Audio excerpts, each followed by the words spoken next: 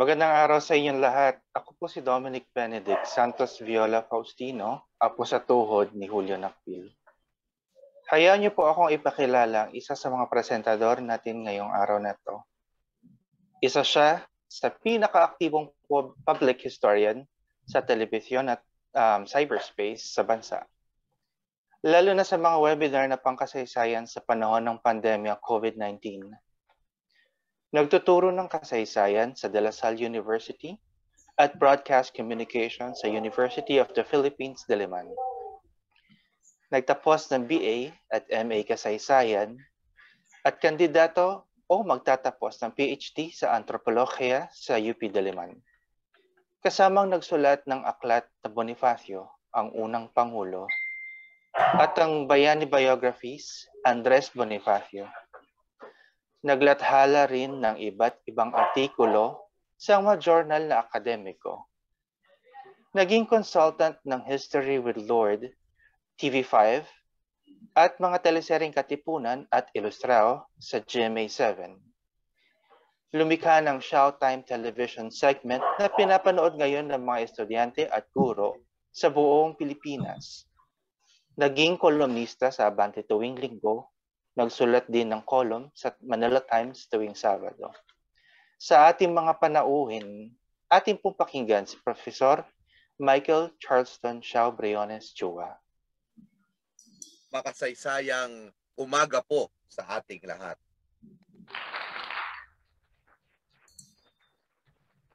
Uh, araw na ito, para po sa kabatiran ng lahat, ay uh, anibersaryo ho ng kamatayan ni Julio Nakpil.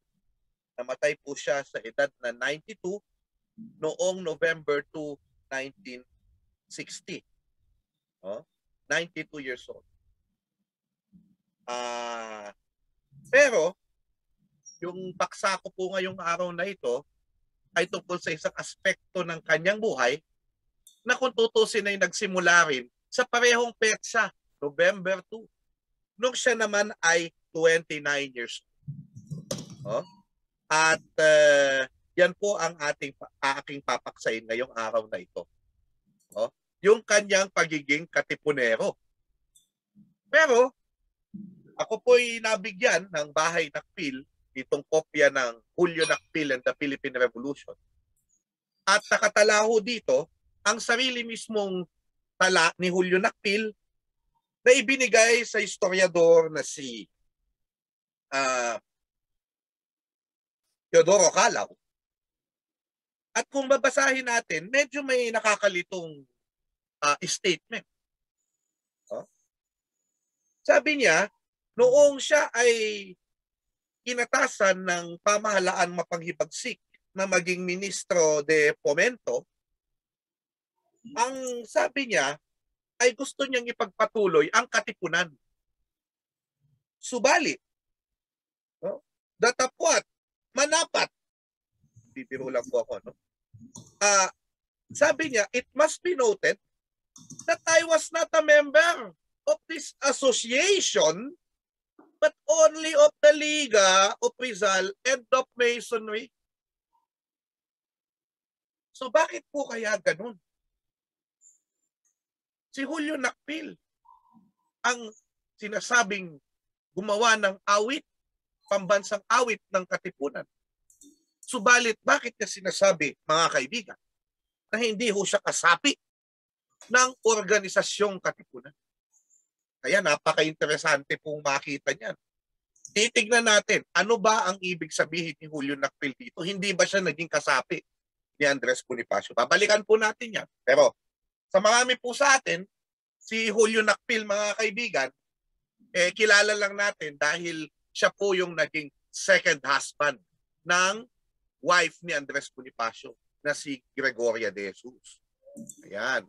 So actually, at yun nga, dahil siya yung nag-compose ng marangal na dalit ng Katagalugan na siyang pambansang awit ng sinasabi ng Katipunan, oh, at yan ay tatalakayin mamaya ang mga detalye niyan ng ating uh, susunod na tagapagsalita. Gayon din mga kaibigan, makikita din natin na uh, siya, ano, hindi kilala ng maraming tao yung aspekto ng kanyang pagiging musician, pioneer na musician sa Pilipinas, formal musician and composer. So, kaabang-abang po mamaya yung magiging uh, lektura po ng ating uh, tagapagsalita no na, na si Ma'am Sandy Inigo Chua na sa kasamaang palad ay hindi ko ho kamag-anak. Ano? Uh, sayang. Sapagkat uh, masaya sanang ma-associate sa kanya. So, mister niya yata yung Chua. Ano? Uh, sa Inigo. Uh, so, mga kaibigan, sisimulan ko ho nga yung kwento natin doon sa petsa ng kanyang pagka uh, pagka pagkasama sa sa kay Bonifacio. No, eto no, aking babasahin. Ah uh, Una, siguro background lang muna, no. Ah uh, kung meron pa kayong mga gustong malaman tungkol sa early life ni Julio, ang suggestion ko po panoorin ninyo yung aking video tungkol kay Julio Nakpil na Shout Time.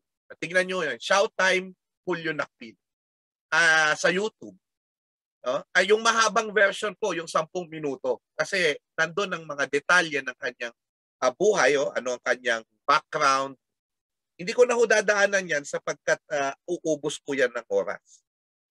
Subalit, kailangan ko lang sabihin na talagang may pagkamakabayan na talaga si Julio Nakpil. Bago pa yung petsa ng kanyang pagpasok kay Bonifacio noong November 2, 1896. Bakit po? No, sapagkat po siya po ay sa kanyang komposisyones ay uh, pinagpugayan niya si Gat Dr. Jose Rizal. Oh, doon sa Amor Patrio na i-discuss ko yan mamaya. Oh, ano ba yung Amor Patrio? Eh hindi po ba? Katapon si Rizal sa dapitan. Eh yung Amor Patrio, yan po ay sinulat ni Jose Rizal na essay sa Diaryong Tagalog na siya namang ano no ginawang tula ni Gat Andres Bonifacio. So as early as 1892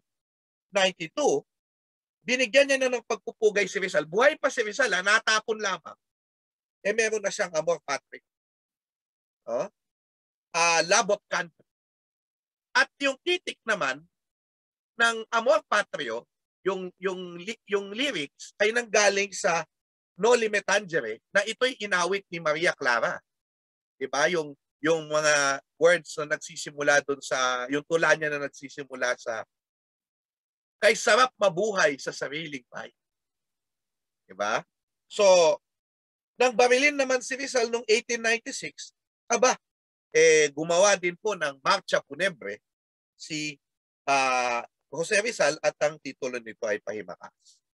Bago na-execute si Rizal, ha, ito yung timeline natin. Ha. Bago na-execute si Rizal, December 30, 1896.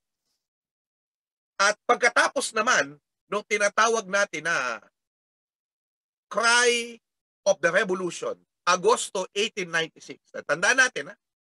pumutok na ang himagsikan. Pumutok. Pumutok. Ibig sabihin, noong November 2, 1896, siya po ay uh, tapos na yung pagputok ng revolusyon at nagpapatuloy na yung revolusyon. So hindi po siya naging miyembro ng katipunan bago ang si ang una grito de revolution o yung cry, first cry of the revolution. Un grito. So, tingnan natin ha, hindi malilimutan ni Julio ang November 2, 1896 sapagkat ito ang araw ng pag-alis na sa kanyang tahanan. Alas 6 ng umaga, upang maging bahagi ng kasaysayan. Tumungo siya sa Sulukan. Saan po ba yung Sulukan? Yung area po yan ng UST ngayon. Sulukan. Kaya tawag nila dyan dati Sulukan Campus. May isang palok upang kitain ng dalawang gabay na dinala naman siya sa kinaroroonan ni Andres Bonifacio sa San Francisco del Monte. Ayan, sa San Francisco del Monte, dyan po yan, sa Prisco. At mula doon, hating gabi, nagtungo na sila sa Balara Marikina upang itatag ang isang himpilan.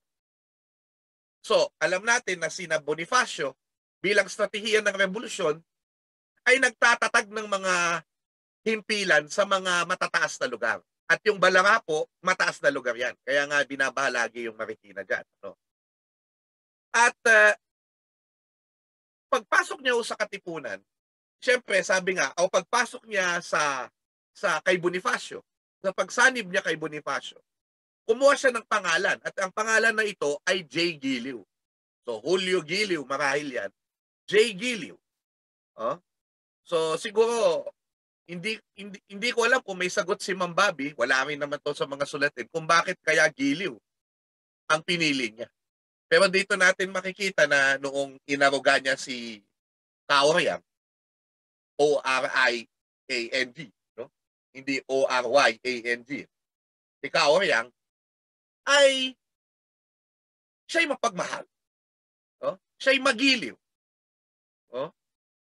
So, yun ang uh, ano so malamang ginigiliw niya ang bayan kaya tinawag niyang giliw ang kanyang sarili. At bakit niya ginawa ito? Sapagkat ayaw niyang mapahamak ang kanyang mga kamag-anak, ang kapatid niyang si Francisco Nakpil na nakadetini sa barracks ng Guardia Civil. Ang bayaw niyang si Dr. Ariston Bautista na nakulong sa Fort Santiago. Oh? At upang hindi rin paginitan ang kanyang mga kapatid na babae. In the time of the revolution, Ania, quote, in the time of the revolution, when they failed to capture the insurgents, they seized their near relatives. Unquote. Ah, agad ah, agad ang kanyang So tingnan natin to, hindi talaga sila kung may contact man siya kay Bonifacio. Kasi ang teorya ko dito, kung may contact siya agad kay Bonifacio, malamang matagal na siyang pumasok sa katipunan. So kung meron man contact, hindi sila ganun kalalim na magkaibigan. Naging magkaibigan lamang sila nung sila'y nagkasama nung Nobyembre 2. At kung titignan nyo, hindi pa sila nagsama ng matagal. Bakit? Because late, because uh, after some time, by November, no? sana tama ako, no? Kasi in Jim Richardson, no, sabi, November or December, si Andres Bonifacio ay nasa Cavite na. So hindi talaga sila nagkasama ng matagal. No? Kasi noon, ang assumption namin, dahil close sila, no, supposedly, eh matagal silang nagkasama. Yung closeness nila marahil, kahit na, kasi pwede naman ganun eh, maging close kayo kahit na sandaling panahon. Oh, ay bunga nung kanilang pagsasama nung Nobyembre. No? Ilang araw lamang. Ilang araw lamang dahil nasa Cavite na si Bonifacio by that ano by, by late that month nandun na siya. O kung hindi ako kung nagkakamali ako December, pero alam ko November na eh. Kasi kinorek ito ni Jim Richardson. So, una, yung kwento na ito ni Julio Nakpil, this belies the fact or the, the assumption na hindi active si Bonifacio sa pagtatayo ng mga himpilan, sa pag-strategize ng revolution by August to uh, November or December nung siya ay lumitaw na lang sa Cavite daw. Dahil daw wala na daw revolusyon sa Maynila, sabi ng mga ilang historiador na wala na daw revolusyon sa Maynila, sa probinsya de Manila kasama ng Morong. At kaya si Bonifacio ay tumungo sa Cavite dahil doon na lang ang revolusyon. Eh kung nagtatayo pala sila ng mga reales, eh di ibig sabihin, meron revolusyon pa. At doon tayo pupunta ngayon, doon sa kanyang papel. Now, by November din, at hindi ko masyadong i-discuss ito, Papakita ko lang sa inyo no yung kanyang uh, uh, pirma no bilang si J Giliw para meron tayong visual aid. Ayan. So, kung titignan ninyo ang pirma ni J Giliw, ayan. Ayan po no. So, maganda ang sulat niya. Oh, Julio Nakpil Giliw. Um, ito po yung kanyang larawan. Ah, larawan. Yan, ayan ang kanyang larawan.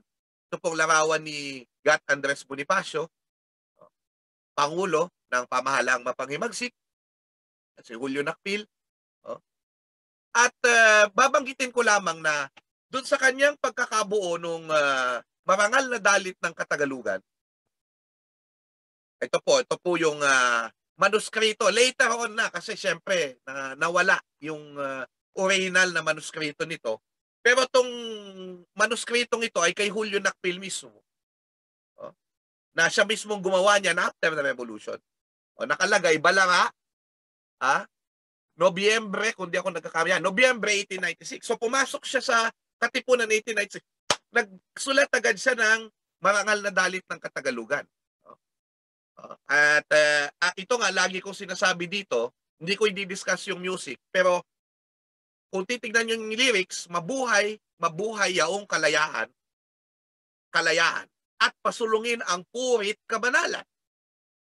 So, dito sinasabi natin, hindi ibig sabihin na katipunan ay mga tulad ng sinasabi ng iba na mga bobong masa na sugod ng sugod at walang alam na ibang gawin kundi maging bayolente. Ang gusto po ng katipunan ay isulong, hindi lang yung pagiging bayolente, hindi yon. That's the last resort in a revolution. Pero mauna ang puri at kabanalan. Maging mabuti ang mga Pilipino, malinis na kalooban, dahil sa psikolohiyang Pilipino, ang malinis na kalooban ay nagbibigay ng tunay na kaginawaan. Gayon din, so, puri at kabanalan. At syempre, nandun na yung paglaban sa Kastila. Kastila ay maining, maining ng Katagalugan. Lalayas sila sa Katagalugan. Katagalugan, mamaya ipapaliwanag natin yan. At ngayon ipagwagi ang kahusayan. O, so hindi ho kabubuhan ang gusto ng katipunan na sugod lang ng sugod. Kailangan ng excellence, kahusayan, napakakaunting salita. Subalit, dito mo makikita na sa kaunting salita na ito, binasag ni Julio Nakpil Giliw ang mga maling persepsyon ukol sa katipunan at sa kanilang filosofiya. Na, may nagtanong sa akin. Nung ako ay, sa isang universidad, ako ay nag, uh, nag-apply. At tinanong nila ako ng trick question. Dahil ang demo ko ay tungkol sa marangal na dalit ng Katagalugan. Ito po ay nung ako ay uh, natanggal sa isang universidad at ako ay nag apply sa mga universidad na ito, na ibang universidad. Sinabi sa akin, eh, paano ka nakakasigurado na yung uh, marangal na dalit ng Katagalugan eh nabasa ng mga uh, katipon. Kasi kung hindi naman nila yan nabasa, hindi naman yan kumala, eh parang wala din. Hindi naman tumimo sa puso ng mga tao. Hindi ko pa alam ang sagot nung panahon na ako ay tinanong. Around 2009 o 2010 yata yun. Ngayon po alam ko na. alam ko na. Bakit po? Ay papakita ko sa inyo mga kaibigan. Oh? Apparently, apparently mga kaibigan, meron pong natagpo ang mga dokumento sa Archivo General Militar de Madrid na isang uh, ES kal- kal- kalunuran, uh, isang miyembro ng isang banda o pinuno ng isang banda musiko ay nagpapadala ng ng sulat kay Julio Nakpil, Ginoong Julio N. Giliw. Ha? Julio N. Giliw. Oh, Marikina, ikatatlumput isa ng Marso 1897. Tapos sin- nilagyan ni Julio Nakpil, sinagot. So ibig sabihin, he answered, he replied to it. Oh. So, makikita nyo dito na ang uh, ang unay, tinanggap ko na po ang inyong ipinadalang dalit ng K. Ano yung dalit ng K? No? Dalit ng Katagalugan na inilakip ko ang maraming pasalamat. Ano? Tapos meron pa siyang sulat ulit. No? Ah, uh, Marso naman, tama, Zay, Marso yan. O Mayo. Eh, tama, Marso siguro yan. 1897, makikinay kalabing anim ng Marso. CES ulit, pinakamamahal kong kapatid, sabi niya, ang dalit ng Katagalugang inyong inilakip ay naaasahang tutugtugin ng orkestra hanggang sa araw ng linggo. Kaya nga't dahilan dito ay ginaga, ginaganti ko ang maraming salamat. So, ibig sabihin, nakikita nyo na ipinaalat po sa mga katipunan chapters itong uh, ginawa ni Julio na. Okay. So, sana ho eh, maliwanagan na sa issue na yan. Puntahan natin ngayon kung bakit sinasabi ni Julio Nakpil na hindi daw siya miyembro ng katipunan. I, it must be noted, quote, it must be noted that I was not a member of this association. Hala. Eh, bakit sumama ka kay Bonifacio, sabi mo, at ginawa mo pa nga yung team song, tapos sasabihin mo, hindi ka miyembro? Ah, kasi hindi na ako kasi katipunan bilang asosasyon. Ang tumatakbo noong November 2, 1896. Uh, sir, bakit? Ano, ano yung sinasabi nyo na yan? Sa pagkatandaan po natin, na noong Agosto 1896, hmm? Agosto 1896, ang katipunan po ay hindi na asosasyon. Ah, ito na po ay naging isang pamahalaang mapanghimagsik. Okay, kailangan magandang liwanagin yan ngayon dahil it's it's a definitive uh, ano way. It, it, definitive yan na uh, parang statement. Kasi bakit sasabihin ni Julio Nakpil na hindi siya katipunero o katipon? Eh kasama siya ni Bonifacio. Ay sapagkat to, distinguish ni Julio Nakpil na pamahalaan na yung katipunan. He is not a member, sabi niya, ha, yung kanyang ano, no?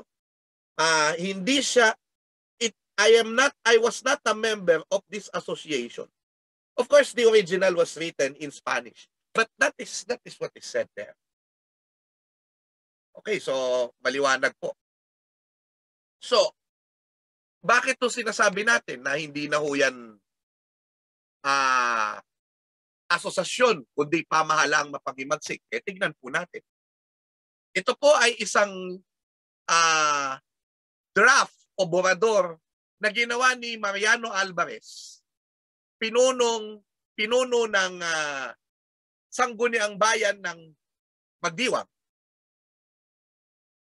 Sa ano no, siya yung pinuno no ng mga katipon sa Cavite ay sinabi po niya, medyo malabo po, pero papakita ko sa inyo yung maliwanag. Ayon sa pinagkaisahan sa ginanap na pulong ng katastasang kapisanan noong ikadalawamput-apat nitong umiiral na buwan tungkol sa paghihimagsik, revolusyon, at sa pagkakailangang maghalal ng magsisipamahala sa bayan at pag-aakay sa hukbo. So ibig sabihin, by August 24, ang katipunan po ay isa na pong uh, revolutionary government. Oh? Sinimulan ng revolusyon, ikadalawamput-apat ng umiiral na buwan, Agosto, kasi sinulat yung dokumento August 26. Ayan po. Oh. Maynila, ika-26 ng Agosto no, ng 1896. Oh? At sa pagkakailangang maghalal ng magsisipamahala sa bayan, ito po, nakita nyo, at mag-aakay ng hukbo. So kung may hukbo, may gobyerno. So yung sinasabi po nila, na hindi po pamahalang mapanghimagsik, kundi isa lamang organisasyon ng katipunan hanggang nung Tejeros Convention, yan po ay isang malaking uh, malaking pagkakamali po. I want to use stronger words, but we must be nice. We do not want to have enemies anymore. Okay. That said, ano ang papel ni Julio Nakpil sa pamahalang ito? Yun ang magandang kasi parang hindi natin naririnig. Lagi lang na sinasabi, natipon siya, ganun, ganun. Oh. So tingnan natin ngayon. At uh, ito na siguro, dito yung uh, medyo conclusion ng uh, ah, papel. Kasi parang sinasabi natin, ang topic ko lang naman, ano yung papel ni Julio sa pamahalaan ni Bonifacio. Kaya hindi ko, parang ayokong sabihin na ano ang papel ni Julio sa katipunan. Kasi nga, hindi na nga katipunan yun. Eh, anong tawag doon? Okay. Anong tawag doon? Kaya tignan natin ngayon, ano ang tawag ngayon doon sa sinalihan ni Julio Nakpil. So, by December of 1896, ha, ang pangalan na ho, ayon kay Jim Richardson, December 1896, ginagamit na ho ang pangalan na, eto ho, ato. Yan. Ginagamit na po, mataas na sanggunian, Haring Bayang Katagalugan. Okay, maliwanag po. So, uh, yung Haring Bayang Katagalugan, mataas na sanggunian, Haring Bayang Katagalugan, mga kaibigan, ibig sabihin po ay pamahalaan na ito. Sapagkat pag sinabi mong Haring Bayan, ito ay yung nasyon. Haring Bayan, ang bayan ang hari. So sabi nung iba, ang haring bayan daw si Bonifacio. Hindi po totoo yun. Ang haring bayan po ay ang bayan. Si Bonifacio ay pangulo lamang. Pangulo ng haring bayan. Alright. So maliwanag po yan. Eh bakit to Katagalugan, sir? Bakit to Katagalugan yan? Eh, ibig sabihin, presidente lang siya ng uh, Tagalog. Ah, mali po tayo dyan. Hindi ho siya presidente lang ng Tagalog, region. Dahil hindi po yan ang kanyang gusto. Hindi ho yan ang uh, intention ng salitang Tagalog, mga kaibigan. Okay, uh, papakita ko sa inyo itong sinulat ni uh, Andres Bonifacio. Kung ano ba ang ibig sabihin ng salitang Tagalog. Medyo ay, yeah. Ato, ato, ato, ato. So, ito po ang ibig sabihin ng salitang Tagalog. Ayan. Sa kartilya ng Katipunan nakalagay ang ang kabagayang pinag-uusig ng katipunan ito ay lubos na dakila at mahalaga. Papag-isahin ang loob at kaisipan ng lahat ng Tagalog. Pag titignan nyo, meron kong asterisk. Nag-footnote yung lolo nyo. Ano sabi ng lolo nyo? Si Emilio Cinto ito ha. Sa salitang Tagalog, katuturay ang lahat ng tumubo sa sangkapulang ito sa Makatwid, Bisaya man, Ilocano man, Kapampangan man, etc. ay Tagalog. So, ibig sabihin ng Tagalog ay yung buong Pilipinas. Yan na ang intensyon ng ating mahal na Gat Andres Bonifacio nung nagkaroon na ng Haring Bayang Katagalugan. Maliwanag po ba? At syempre, yung laging ipinapakita natin na dokumento ng ginamit niya, yung, pang, yung katawagan na yan, eh, ipapakita ko na rin sa inyo dahil nandito na rin ho tayo. No? Eto, no? Ang uh, ang dokumento na ito Okay, wait.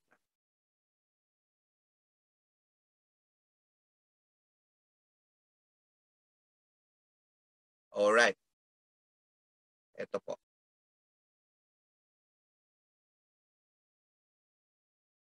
Andres Bonifacio may pag-asa, Pangulo ng Haring Bayang Katagalugan. Hindi po siya yung hari, siya po'y Pangulo lamang. So may isang historiador noon na nagsabi sa isang magazine na I respectfully disagree, Bonifacio had aspirations towards monarchy. I think that is BS. No, no, no, no.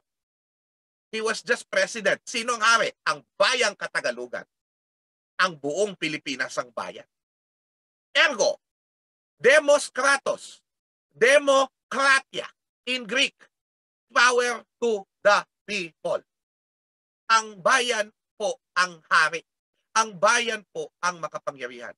Signed itong dokumento ng Abril no na nagtatalaga kay Emilio Jacinto bilang pangulong hukbo ng dakong hilagaan. Hindi hilaga hilaga, ah. hindi hilaga. Hilagaan. Mamaya pakinggan niyo to. Pangulong hukbo sa dakong hilagaan ng Maynila. Ano yung hilagaan? Hindi ho yan north lang of Manila. Meron po yung kahulugan yung hilagaan na yan. Okay? So, Pangulo ng Haring Bayan, Andres Bonifacio may pag-asa at po, yun po yung kanyang uh, selyo. Oh. Haring Bayang Katagalugan, ang liwanag ng kalayaan nagniningning. And by the way, yan po ay uh, suot-suot ko ngayong araw na ito. Pasensya na kayo, sabi nyo, eh, baka si, bakit naka-t-shirt lang si Xiao Chu, ah? Hindi ginagalang si Julio Nakpil. Hindi ho, kasi may kinalaman po sa ating topic yung aking suot. Yan po ang uh, selyo ng pamahalaang mapanghimagsik ni Gat Andres Bonifacio. So sige po, uh, pupuntahan ko po ngayon yung uh, yung aking uh, siguro yung pangwakas na bahagi. Ano yung papel? Tatanungin natin. Ano yung papel ni Julio Nakpil sa pamahalaan na ito? So well, may may tanda natin na ang ang katipunan, ang bilang pamahalaan na tinatawag na ngayong Haring Bayang Katagalugan sa panahon ni Julio Nakpil, ano? ay mayroong, at ito'y batay sa mga sinulat ni Jim Richardson na, na dokumento na natagpuan niya sa Archivo General Militar de Madrid. And by the way, nakikiusap po tayo, no? Itigil na po natin yung uh, pag-atake kay Jim Richardson na dahil siya ay dayuhan, eh hindi siya pwedeng magsabi ng bagay tungkol sa katipunan. Ang magandang scholarship po, kahit po dayuhan o kahit Pilipino, basta't maganda po ang scholarship at talagang na-research, ay kailangan nun natin igalang. Hindi natin sinasabing paniwalaan natin. Maging critical pa rin tayo. Ang sinasabi natin dito, magandang pagkalatag. You might disagree with some of the uh, conclusions. Halimbawa, kasi ako, meron akong, honestly, si Sir Jim kasi ay uh, dialectic materialist, ano? Hindi niya hindi niya kino-consider yung anting-anting na bahagi ng katipunan. Parang ganon. Hindi at yung Good Friday na pagpunta sa sa Mount Tapusi ay uh, walang kahulugan, kundi dahil yun ay holiday lamang. Yun ay pananaw niya. No? Kasi may kultural naman na pananaw.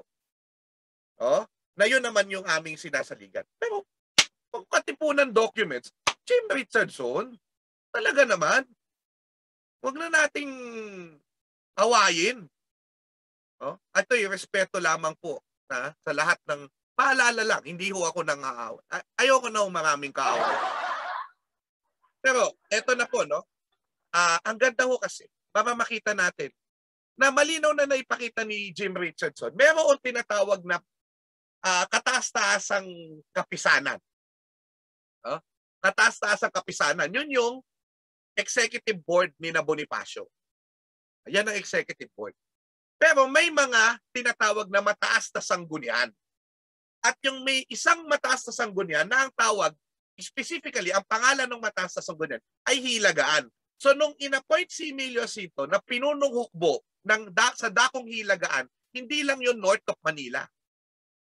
Hilagaan means it is the northern district na yun ang pangalan niya talaga, Hilagaan.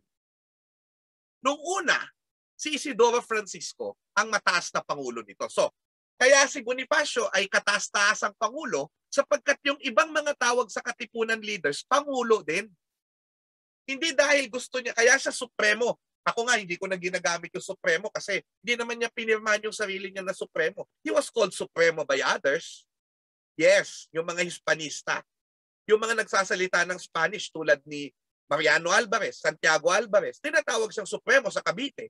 Kasi yun ay salin ng kanyang tunay na na na uh, tunay na anong tawag dito na pangalan uh, o titulo sa katipunan kataas-taasang pangulo supremo.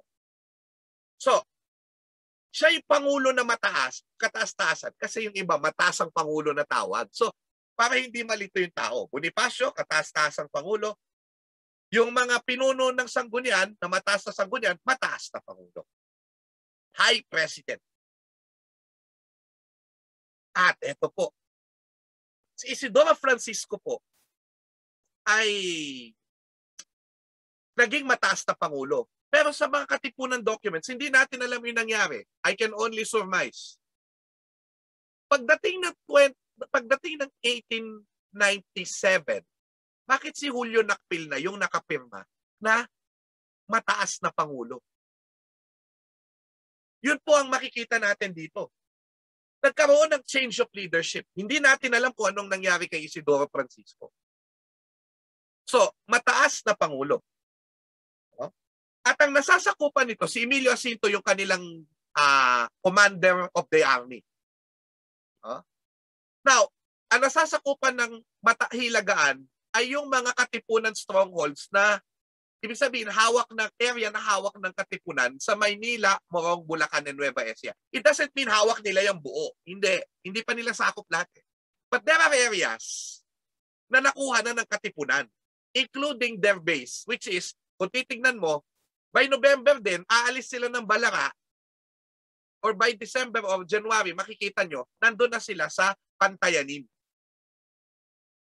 So yung Pantayanin, ano yung Pantayanin? Yan po ay nasa uh, boundary ng uh, Antipolo at Pasig. Pantayanin. Doon na sila nakabase. Okay? by December. So ibig sabihin, hindi rin nagtagal si Julio Nakpil sa Balara kasi agad siyang lumipat by December doon sa Hilagaan. Sa may doon sa base nila sa Pantayan. So, uh, kung titingnan natin, eto na ano, si Anyora pa o Isidoro Francisco ang mataas na pangulo noong pinirmahan ang uh, pag-uutos na magpulong para sa pagsalakay sa Pasig noong December 1896. So mataas na pamunuan, si Isidoro Francisco Anyora pa ang nakapirma. Pero, nandun na si J. Giliw. Siya ang kalihim. Siya ang kalihim. Ang mata, ang M na kalihim, Giliw. Ah, ayan na siya, oh. Nakapirma na po siya doon. Ayun. Kaya dito makikita mo, mayroong mayroong uh, parang sinabi si uh, uh, Encarnacion Alsona ayan uh, Teodoro Calaw I mean hmm, sorry sorry kasi may sinabi si uh, Alsona na parang he was a high secretary of the Katipunan yun ang nakalagay. So ito yung tinutukoy na appointment niya as High Secretary of the Katipunan. Oh? Pero kung titignan natin, mag-iiba yan. So ito na, may mga sulat. So ibig sabihin, ito pa ebidensya na gumagana yung pamahalaan. Kasi may sulatan, may utusan. No? Si Emilio Cinto, uh, nagsusulat din ng mga utos ng mga atas. No? Si Bonifacio ay nakipag nakipagsulatan December 12, 1896 sa High Military Council o yung tinatawag na mata sa sanggunian ng Hilagaan no at uh, kino-congratulate sila sa kanilang victory sa Antipolo no nag-election din sila at makikita rin yan sa mga dokumento sa Archivo General Military de Madrid oh so nagkaroon ng uh, election oh. ayun Julio Nakpil Giliw mataas na kalihim Si Anyora pa ang nakapirma, si Isidoro Francisco. Oh? At uh, ayan yung naging uh, council election. Okay, so tumakbo yung gobyerno. Wala na akong kaduda-duda yan. Isa siyang pamahalang mapanghimagsik. At si Bonifacio ang pangulo nito. Kaya natin sinasabi na may mas naunang pamahalang mapanghimagsik at si Bonifacio ang pangulo. Oh? Uh, Huwag ko kayong maniwala, may mga nagpapakalat na nagbago na daw ang kaisipan ko dyan. Hindi ho totoo. Ang binabago ko lang ay yung approach para manalo tayo. Kasi ako willing na akong ibigay sa kanila. Emilio Aguinaldo, Pangulo ng Unang Republika. Sure. Pero Pangulo ng pamahalang pangimagsik, mas naunang Pangulo. Si Bonifacio. Whatever you call it. Diba? Diba? Uh, if it quacks like a duck, and it walks like a duck, it is a duck. Whatever you call it. He's the first, second, third president, whatever. He is president, period, period, period. Okay? Wala akong kinalaman ng NHCP sa mga pinagsasasabi ng inyong tagapagsalita. Disclaimer lang yan ha. Hindi ho NHCP stand to kahit nakastream tayo sa NHCP. Okay. Akin lang yan. I am responsible for everything that I'm saying here. O, ito na. Ito na. Ito na. Kikita natin. Okay. Uh, by by 23 February, may birth certificate na natagpuan si Jim Richardson sa Archivo General Militar de Madrid. Pero pag tinignan mo, birth certificate siya ni uh, Patricia, ang tawag nila. Oo. Sa nayon ng Pulo, bayan ng Pasig nakalagay ang nagbinyag o ang nag nag-officiate nung uh, ano rehistrasyon Julio Nakpil ang mataas na pangulo na siya. So si Julio Nakpil po hindi lang kalihim, naging mataas na pangulo siya, isa sa mga matataas na pangulo ni Andres Bonifacio. At nakalagay doon ang kataas-taasang pinunong hukbo, Emilio Asinto. So dalawa na silang pumipirma ngayon bilang main signatories ng mga dokumento. Ito pa. No? Marriage certificate. Jeronimo Ignacio kay Julia Sagisan. February 1897. Ang kasal pinangunahan ni Julio Nakpil at dinaluhan ni Emilio Jacinto, kasama si Emilio Jacinto at iba pa. Kung ang isang organisasyon ay nagbibigay ng birth certificate at marriage certificate, ibig sabihin, nagpa-function siya bilang isang pamahalaan. Okay? So, yun po ang sinasabi natin dito. At si Julio Nakpil ay isang mataas na pangulo. Ito. Okay. By February 1897, may draft na nag appoint sila ng fiscal sa Binangonan, Morong. Binangonan Rizal ngayon. Bahagi pa rin ng Provincia de Manila at that time. Oh? At ang kanilang authority ay nagmumula kataas-taas ang Pangulo ng Haring Bayang Katagalugan, yung kanilang authority, nakalagay sa draft na ito. Ito yung medyo mysterious po sa amin. April 1897, ah, hindi pala to, hindi pala ito. Si Julio Nakpil mismo ay sinulatan ni Emilio Jacinto April 1897. Ito po ay bago mahuli si Andres Bonifacio sa mga ba lugar 'yon? Sa May Cavite. Ay uh, nagtatanong pa si Emilio Jacinto kay Julio Nakpil tungkol sa mga in-order na weapons mula sa Japan at Hong Kong. Ito yung medyo mysterious sa amin. September 18, 1897. Tignan niyo yung selyo. Ang selyo ay pareho pa rin nung kay Bonifacio pero nag-iba na. Mataas na sanggunian. Oh? Katipunan ng mga anak ng bayan, kundi ako nagkakamali. Oh, hindi ko mabasa ng, ng maganda eh. Pero nag-iba na, mataas na sanggunian o mataas na, ibig sabihin, patay na si Andres Bonifacio tinuloy ni Julio Nakpin yung himagsikan. September 1897 na nagsusolicit pa sila mula sa isang lugar, Santa Ana. Now, I said here in the slide, closer to Intramuros, but there is a Santa Ana near Antipolo kasi. So, hindi rin natin alam kung galing doon. Subalit, nakapirma pa rin Julio Nakpil, pataas na Pangulo. No? ikadalawamputwalo ng Setyembre, ikalabing walo, I mean ng Setyembre, taong 1897. Okay. Now, as a last point, ladies and gentlemen, ito pong, at alam ko malapit kasi 11 o'clock na, no? Ayoko naman nung magpatagal. Kailangan liwanagin na kailan ba naging ministro de Fomento ng pamahalaang Aguinaldo? Si Julio Nakpil. Kasi 'di ba, pro Bonifacio nga siya. Eh bakit siya kinuha? Okay. Hindi masyadong nababanggit sa kasaysayan at napag-usapan din namin ito ni Ma'am Sandy ano. Ah, na I had a confusion before na siya ba ay umabot ng at least biyak na ba to or malolos para ma-appoint na minister, ministro de Fomento. No? Apparently, at ito, ito negligence ko naman. I'm sorry, hindi naman tayo natin alam lahat at kumaamin tayo dyan dahil wala naman tayong pinagmamalaki. At this is, being a historian is a a continuous education. Hanggang mamatay ho ako eh, ako'y matututo. No? Wala ho tayong pinagmamalaki. Hindi rin ho ako magal, mas magaling sa inyo, baka mas magaling pa kayo sa akin. Eh ako'y sinasabi ko na ho sa inyo, very frank naman ako.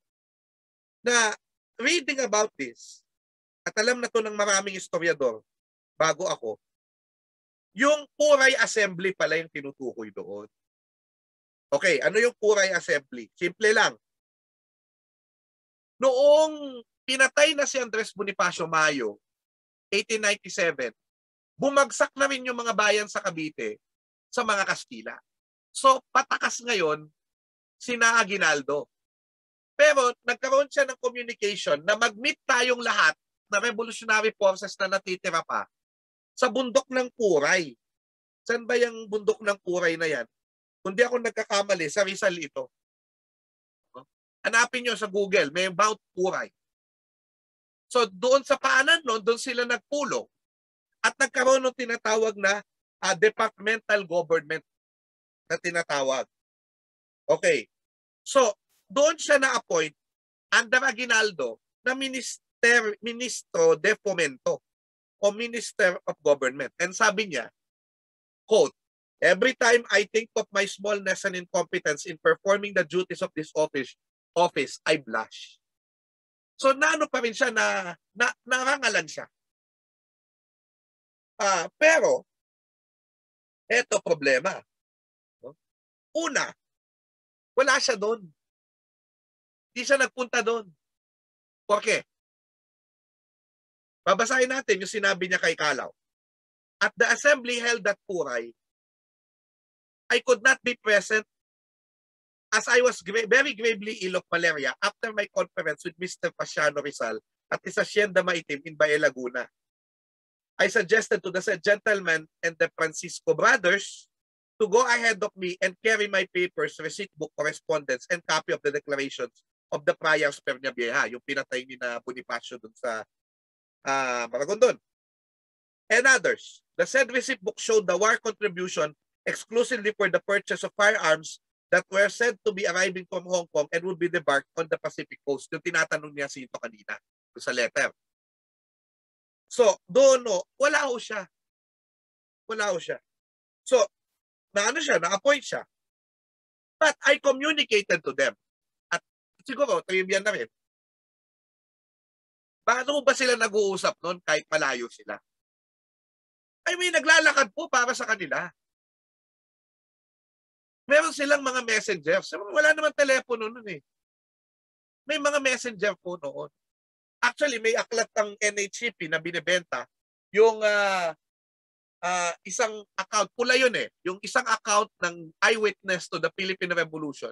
Ito po ay ginawa o sinulat ng isang messenger. In fact, siya yung messenger pupunta kay Bonifacio. Although naging po Aguinaldo siya. Oh? Uh, siya po yung messenger na taga ano nga bang tunasan? Tunasan Muntinlupa. So, ibig sabihin, ang sistema pala noon may naglalakad. So, ito yung mga unsung heroes. Di ba? May unsung heroes po talaga ang ating revolusyon, ano? So, eto, no? Naglalakad do, sumasakay kung paano basta makarating. Okay. Eto. I communicated to them sa mga nasa Puray, oh, my conformity with the constitution of our government. So in a way, tinanggap niya ngayon. Tinanggap niya na si Aguinaldo na ang Pangulo. No? And I hinted, I hinted the continuation of the Katipunan. So sabi niya, ituloy daw ang Katipunan. It must be noted, sabi niya, that I was not a member of this association but only of the Liga Filipina of Rizal and of Masonry. For the purpose of collecting more funds for the acquisition of firearms telling them that the Katipunan revolutionists and even outsiders had very great faith in the Katipunan. Basically, ang sinasabi ni Julio Nakpil kay sa mga tao, ituloy natin yung Katipunan kasi ang mga tao, malaki pa rin ang tiwala sa Katipunan. Okay? Hindi yata nagustuhan. According to Julio Nakpil. Okay, so wala ho akong kinalaman dito. Iko-quote ko lang si Julio Nakpil ha. Quote, Mr. Emilio Aguinaldo took this ill and without any further explanation ordered General Severino Taino and Pio Del Pilar to assassinate me? Is it penchance fair to kill a person even supposing him to be delinquent without having heard his testimony and without due process of law? The fact is I have not received any reply and naturally I was of the belief that they approved my idea. So, yun po yung makikita natin dyan. Oh? Oh, by the way, uh, as a point of the messengers, it must be noted, sinabi niya rin dito, no? Also that in those times, there were many hindrances to communication and I used to receive letters out of time. So he was also thinking na baka may mga hindi lang dumadating na sulat sa akin. This was the cause of many difficulties in maintaining communication with the rest in as much as the messengers had to make many roundabout turns to avoid the Spanish military post. So maliwanag po ha, maliwanag po yun. Na ang sinasabi ngayon, of course, I have to be critical with Julio. Paano niya nalaman yun? We do not know. So, you take it as a testimony of Julio Nakpil. Hindi naman niya nalaman na, I'm sure someone told him. Of course, kapag ka naman ganyan na death, death threats or what, hindi naman yan talaga basta-basta na isusulat. So, uh, it is the testimony of Sir Julio Nakpil. So, mga kaibigan, uh, at least, by that uh, moment, yun ang alam natin about the role of Julio Nakpil in the revolution. After the Puray Assembly, he continued to fight. And then after that, na, na eventually na-meet niya si Gregoria de Jesus. O inaruga niya si Gregoria de Jesus, nagpakasal sila, at may letter si Gregoria de Jesus saying, hirap kami sa pera, humihingi siya ng tulong kay Emilio Jacinto, na noon ay nagtitinda na ng baka sa Santa Cruz. No? Habang of course, uh, is maintaining contacts with the revolutions, revolutionists. Okay? So, uh, ano po ba ang makikita natin dito? Una sa lahat, to conclude, si Julio Nakpil ay hindi ho basta-basta tauhan lamang ni Bonifacio na nag-compose ng marangal na dalit ng Katagalugan. Isa po siyang kinilalang mataas na pangulo ng mataas na sanggunian ng Hilagaan. Isa po siyang mataas na pangulo ng pinakaunang pamahalang mapanghimagsik sa Pilipinas. At ito po ang kanyang papel sa ating kasaysayan. So, uh, tulad ng uh, laging sinasabi at laging binaba- kinaawit natin mula kay Julio Nakpil, mabuhay ang kalayaan isulong ang puri at kabanalan, ipagwagi ang kausayan. Dalhin natin ang bandila ni Julio Nakpil sa ating pang-araw-araw na buhay. Marami pong salamat at mabuhay tayong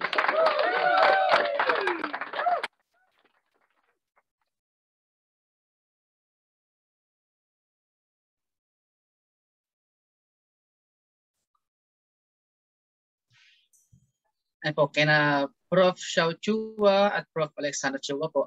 Siguro no, pwede po rin po natin tawagin itong webinar na ito na Enlightened by the Chuas kasi napaka comprehensive, napaka-detalyado po ng kanilang mga uh, present sa atin.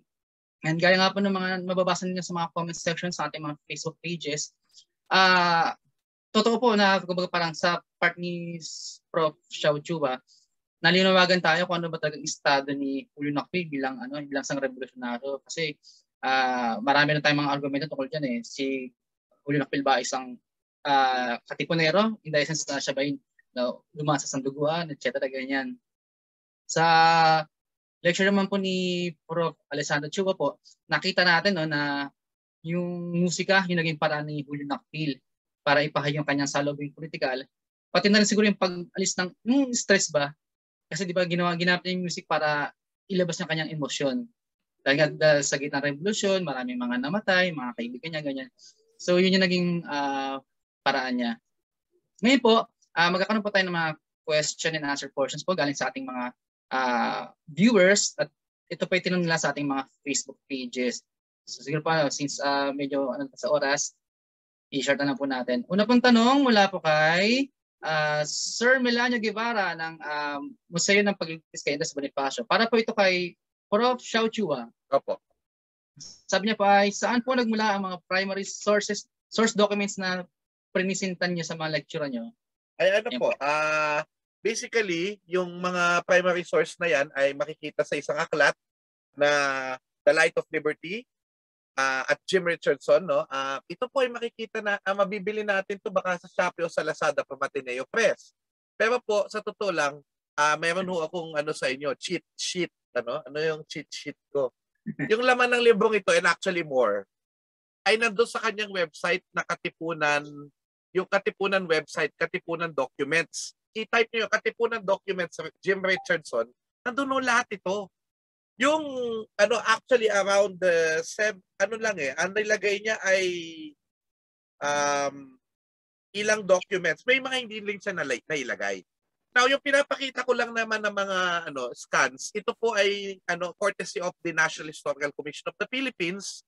Do, dahil ibinigay sa kanila kasi si Jim Richardson when he researched this ay parang notes tsaka xerox tsaka nagpinag xerox siya ng mga documents. Pero after some time, around yung 2013 commemoration kay Bonifacio, nung tinatayo yung museo ng Katipunan Christian, ano, ay binigyan ng Archivo General Militar ng ano, ng scans. So we can check the scans and the the books, no? Yun. Yun po yung sources ko. Then kanina pala, uh, sinabi, buti nanonood sa atin si Sir Ian Alfonso, no? Ah, uh, sinabi niya sa akin history of one of the initiators of the Filipino Revolution the ano Memoirs of Antonio Guevara y Mendoza. Siya po yung tinutukoy ko kanina na uh, na ano messenger. Tapos kayo rin, nabanggit nyo sa akin uh, kanina, uh, Sir Christian, ano, na yung Mount Puray ay sa Montalban, Rodriguez. No, parang napaka napakalalim talaga ng kasaysayan ng ano no Montalban sa sa sa revolusyon. Kung titingnan mo nandiyan din yung kuweba ni Bernardo Caprio. So yun, salamat po. Uh, basically yun and, and others no. Uh, ito pala, uh, merong Julio Nakpil in the Philippine Revolution na makukuha niyo sa mga libraries siguro. No? Uh, kasi nandiyan mismo, hindi lang yung ginawa ni Encarnacion Alzona na notes, no? kundi yung mismong uh, primary source na si Julio Nakpil mismo ang sumulat, pati na rin yung kay Gregoria De Jesus.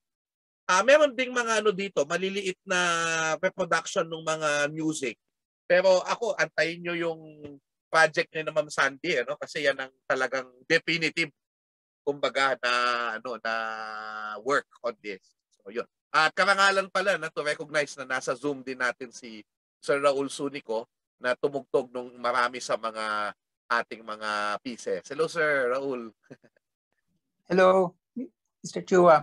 Okay. Congratulations po. Thank you po, thank you po. Ayun po. Salamat po, uh, Prof. Xiao Chua sa inyong uh, tanong. Ito naman pong next question natin ay para man po kay uh, Prof. Alessandro Chua. Ang tanong po ay, how is the Kundiman from Nakpilstein different from Santiago's Kundiman at a later time? Ayun po, ma'am. Okay. So thank you so much. This uh, has been a lingering, ano talaga, medyo mahirap po. But in my dissertation that I did on the 19th century, because Santiago was already composing the Kondima in the early 20th century and medyo na-elevate na as an art song no, with uh, Santiago, Bonifacio Abdon, and Nicanor Abelardo. And this is what the Kondiman that we know. But in my dissertation that I did, there is a chapter there that tried to uh, no, the origins of the Kondiman based on documents that we have. So we have, um, uh, I was able to try to look into an 1847 Kondiman by, uh, uh, which was a painting by Honorato Lozano. And then uh, some other condiments, uh, the folk condiments as they say, which has been notated, and then transcriptions of Kondiman during that time. The first was in uh, actually 1887, which was done by Pedro Paterno. And I was trying to look into, there were transcriptions of Kondiman, uh, Komintang, and Balitaw in that 1887 uh, publication of uh, Pedro Paterno that was published in Madrid. And this is actually displayed for the exposition uh, uh, the Filipinas that was held in Madrid in that same year of 1887. So, and there were also some uh, transcriptions of Condiman that was used no, for compositions such as the Diego Peros Recuerdos de Filipinas. But quite interesting is that Nakpil's Condiman is actually based on that 1887 Condiman of Jose Riz, uh, uh, uh, Condiman of Pedro Paterno, which according to them is the favorite of Jose Rizal. So Condiman was circulating as a melody, no, um, in, in, in, in, in during that time. It's oral, but there were already um, uh, uh, efforts to actually write them into music. But it was Nakpil who wrote a whole, a whole music composition based on that Condiman melody that was uh, uh, famous uh, of that time. And he put an introduction, he put a coda, and you have an A and a B, wherein you have the minor key that would modulate to the major key. So you see that as early as 1892, the form of the condiman is already there. Except that Nakpil's condiman is a piano work. So he actually transcribed it for the piano, that famous melody that is circulating. And according to him, it's the Kondiman. Uh, that is the favorite of Rizal because he puts the same Kondiman melody in his Pahimakas, which is a funeral march which was dedicated to Rizal. So he put this eight measure Condiman melody in that particular piece, which was based on the Pedro Paterno transcription of the Condiman as well. So very interesting. I think I, I have an article that will come out on the Condiman and Kumanta. And the Condiman was a slow, it's a song, it's a song dance genre. It's not really a song. It's a, it's a song, but it is dance. And quite interesting is that Nakpil, when he wrote the Condiman, says that it's a lakad Tagalog at nakalagay doon paglakad at the end katapusan. And he was the first to mention uh, to put a title on the condiman using K not C. All the condiman previously would have CO CU but with Nakpil's condiman he spells it as K U N D I M A N. And it says lakad Tagalog. So in terms of Philippinization and vernacularization, Nakpil's music becomes very, very important actually in the history of, of Philippine music. So thank you so much for that uh, question. Yan, maraming salamat po, ma'am. Ito po yung next questions naman po natin, dalawa ito, uh, para po kay Prof. Xiao Chua ulit. Uh, ito pong una, medyo, ano, medyo tricky. Was the existing government structure set up by Bonifacio totally discredited, discredited by Aguinaldo. And then siguro pag, sa, uh, pag magkasunod po ng question, nakita daw ba si Julian Felipe at Julio Nakpil? Ayan. Totally discredited. Uh, let's put it into context. Ano? Uh, remember na Bonifacio, uh, supposedly, the, the, the government was functioning when Bonifacio was there in Cavite.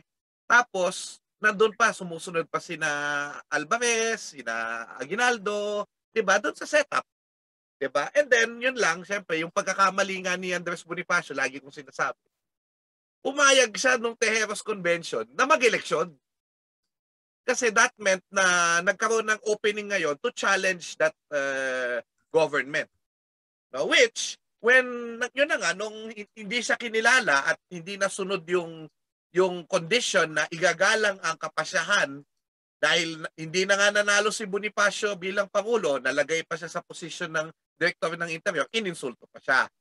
So the, the, the yung contention natin lies is uh, the contention lies is, lies as a historian where do you stand?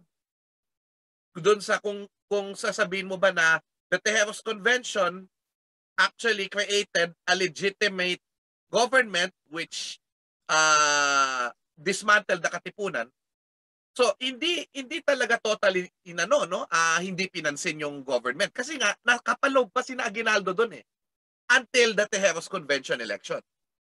Now, of course, the other contention is na patuloy yung um, gobyerno ni Bonifacio because hindi nasunod yung kas, ka, kasunduan na igagalang. So nullified ang Tejeros Convention and so the Bonifacio government continued basically And now, as we can see, because of Julio Nakpil, even after Bonifacio's death, it continued.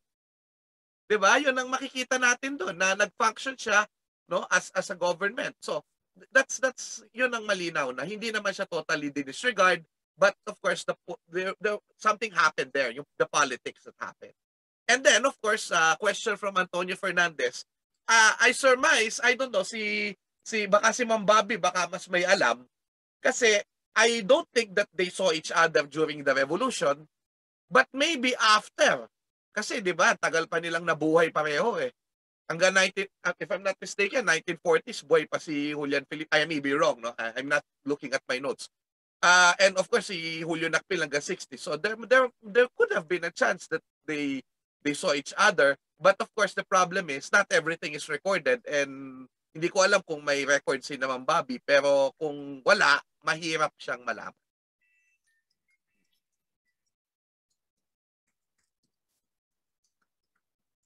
Sir, you're uh, on mute.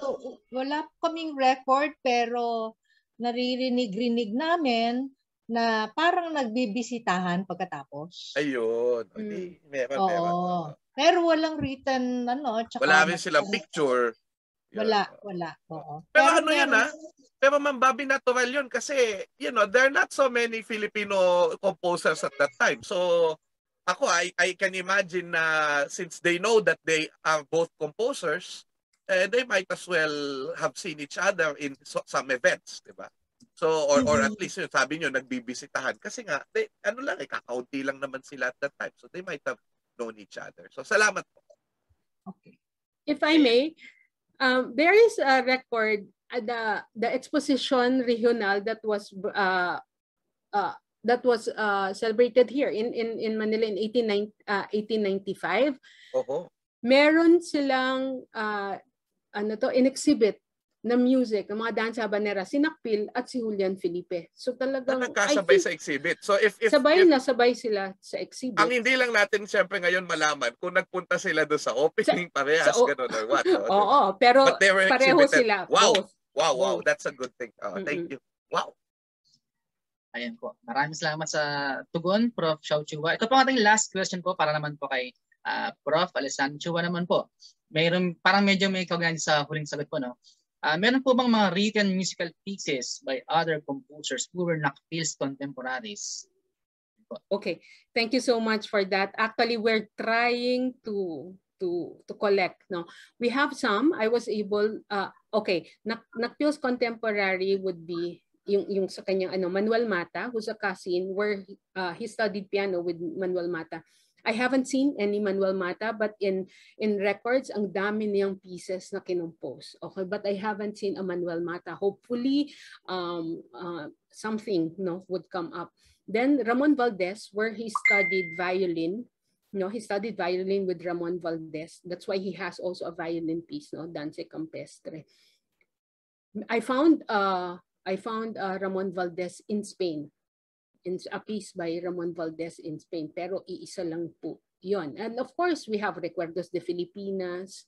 Um, we have the Pedro Paterno, but very limited lang po talaga ang pieces. What's quite striking with Julio Nakpil is that he was able to rewrite all his music at his old age so that it survived. Kaya we now have one of the first parang complete opus of a Filipino composer of the 19th century in this uh, in, in in this particular study, which consists of four CDs and two critical music um, edition. So napaka-importante po talaga. And I hope there would be more that will come out. No? Sana po magkaroon ng consciousness na ikolekta natin po ang ang musika ng uh, ng our heritage music no because this is our history as Filipinos.